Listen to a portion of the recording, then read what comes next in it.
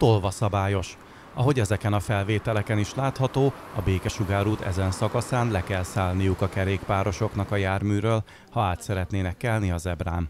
Korábban a zebra mellett egy kerékpársáv húzódott, de ezt elsősorban baleset megelőzési okokból megszüntették.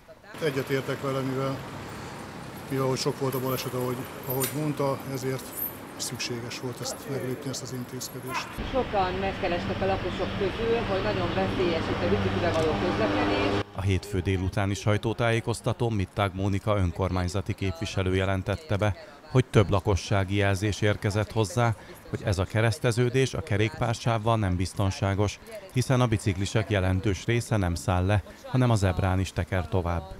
Ezért megkezdődtek az egyeztetések, a közelmúltban pedig átalakították a területet.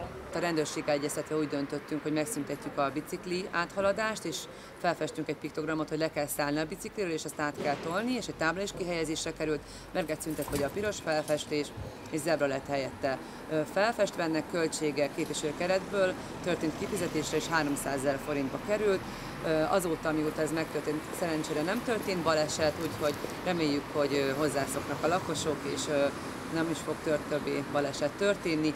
Ez a felvétel már a Jókai utcában készült, a Kásriffert utca felé haladók, vagy az onnan érkezők számára gyakran jelentett gondot, hogy a parkoló autók miatt nehéz volt ki, vagy éppen behajtani.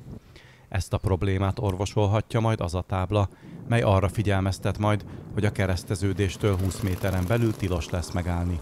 A Jókai utcai és a Békesugárúti eset különböző, de mindkét helyszínen arra kérik a közlekedőket, hogy vigyázzanak egymásra.